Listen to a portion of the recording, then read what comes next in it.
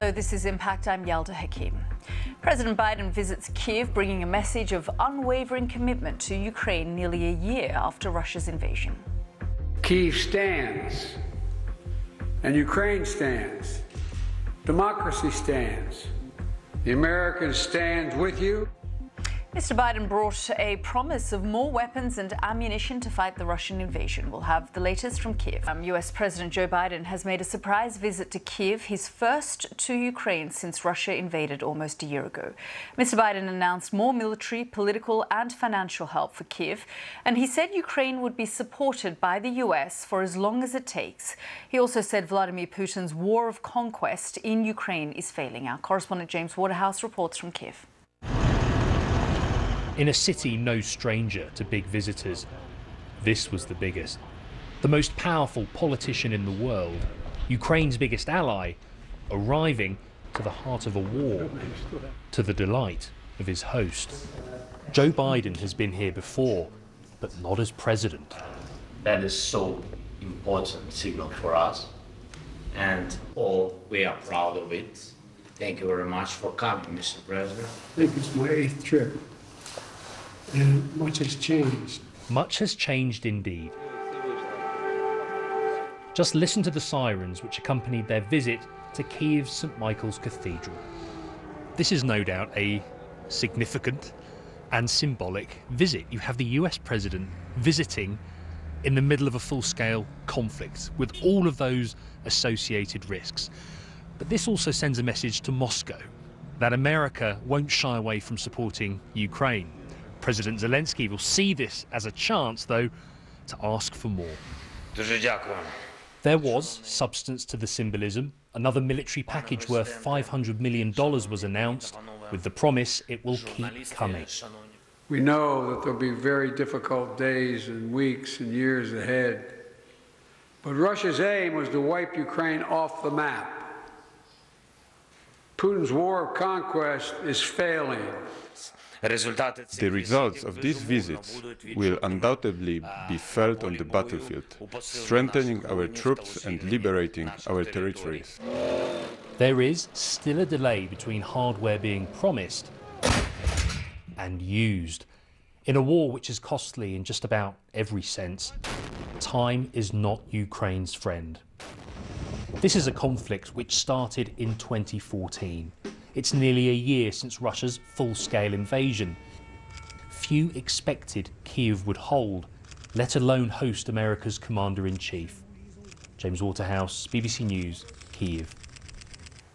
Well, earlier I spoke to our chief international correspondent, Lise Doucet, who's in Kiev. She told me President Biden told the story about the telephone call he made to President Zelensky after Russia invaded last year. Here in Kiev, he talked about how he could hear explosions as President Zelensky spoke to him. And it was underlined that the first Western leader to speak with the Ukrainian president as Russia's invasion got underway was President Biden, who offered him his fullest support. And what President Zelensky said then, and what he hasn't stopped saying since then, is that he's trying to rally worldwide support, as much support as he can. And President Biden's visit today just underlines how successful President Zelensky has been in trying to rally nations behind Ukraine. And I think President Biden, when he was asked by a journalist what, the, what his goal for this visit lasting just a few hours was, was, he said, I want to really send the message that we're not going anywhere. We're staying, as he said, while knowing full well that public support for this, uh, for supporting Ukraine, while still high, is dropping, and Western militaries are struggling to keep up with the pace of demand for the ammunition, weaponry, the long-range artillery, and now fighter uh, jets that the, the Ukrainians need to fight this war on their behalf, in effect, against Russia. Liz, uh, I suppose the, question is, where do things stand a, a year on? You were uh, there at the beginning of, of the conflict. I, I was in uh, the west of the country, in, in Lviv. Um, it was an intense moment. Um, where are we now, 12 months on? Well, you'll remember, Yalda, at the beginning, you couldn't find a Western military analyst who didn't subscribe to the view that in a matter of days, possibly three days, that Ukraine would fall, possibly that President Zelensky would leave, uh, the comedian turned president, that Ukraine, the little Ukraine, simply couldn't stand up to the might of the Russian army. And yet, with every month which went by, every week which went by, it became absolutely clear that the world, including Ukrainians, had overestimated the Russian Russian military and underestimated the Ukrainian, and not just the Ukrainian armed forces, but what we call the home front, the, the resolute spirit of the Ukrainians to stand up uh, against a president, against President Putin, who essentially said your country doesn't have a right to exist, you are part of Russia. But a year on, Russia did occupy, didn't take, did take over more territory in the nearly year-long invasion now. It hasn't made the advances, including Kiev, that it had expected at the beginning. But it is, it is going to be a tough fight for Ukraine. And while President Zelensky said he hoped this war would end this year, that's very optimistic. But that's certainly what his Western, his NATO allies would want, uh, because otherwise it's going to become year on year ever more difficult to sustain the kind of support that President Biden spoke about today here in Kiev. That was our chief international correspondent, Lise Doucet there. Well, I'm joined now by Ukrainian MP Andrei Zupanyan. He is in Zakarpattia in western Ukraine. Thank you very much, sir, for joining us here uh, on the program. President Biden said that uh, the United States will stand with Ukraine for as long as it takes. Just uh, tell us uh, the reaction there uh, to those statements uh, from Ukraine. Well, people are very happy to see President Biden on our territory it's a huge gesture for us, and uh, it's a huge signal, not only for Ukrainians, but also for Russia and also for other countries of the world.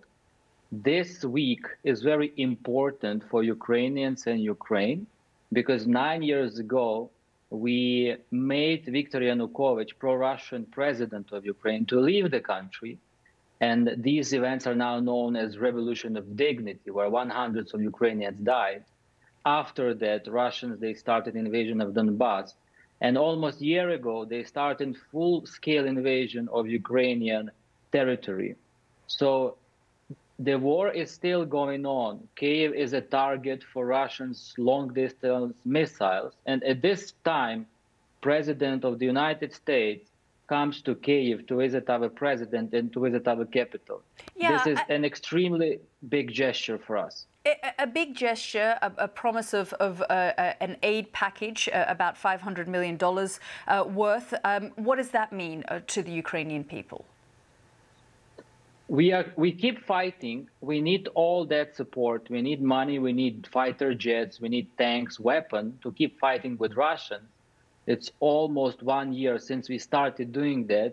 And I think we are successfully doing that and we can win this war actually we can retake all the territories that are captured by russians including crimea but we don't be able to do that without western support without support of developed countries and also united states of america so we understand this visit you know as a signal for us that they united states and civilized world democratic countries are going to support us during next 12 months you know 24 months is whatever it takes to win this war for Ukrainians and Ukraine. The, the, reality on the ground, though, is that there are big promises that are being made, and, and we heard many of those promises this weekend at the Munich Security uh, Conference as well. But there is a time lag between what's being promised and then what's actually able to be delivered uh, to the battlefield.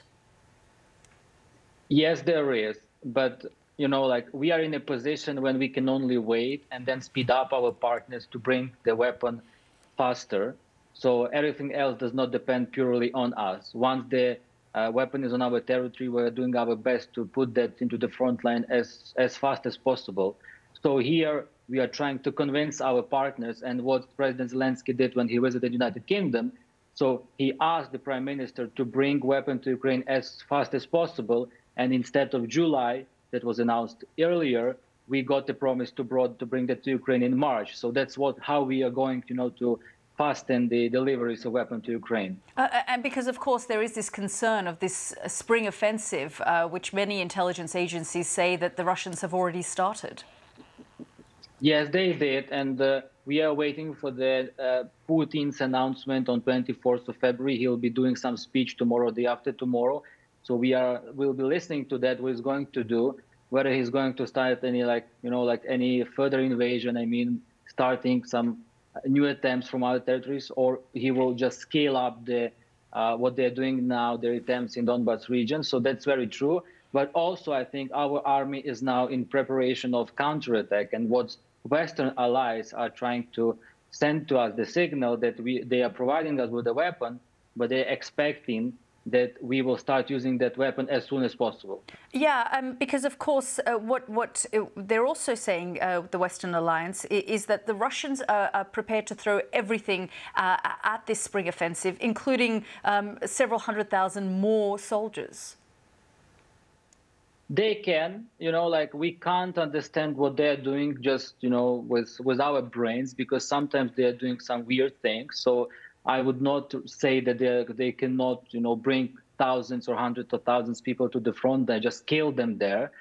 They can do that but okay so what is our choice? Our choice we are standing you know on our land. We are fighting for our country. We don't have any other choice. They just you know fighting keep fighting keep killing russians and keep you know freeing our territory to to bring back our country to the uh, borders that we had before uh, even invasion in 2014. Ukrainian MP Andriy Zupanyan, uh, thank you very much for joining us here on the program. Thank you.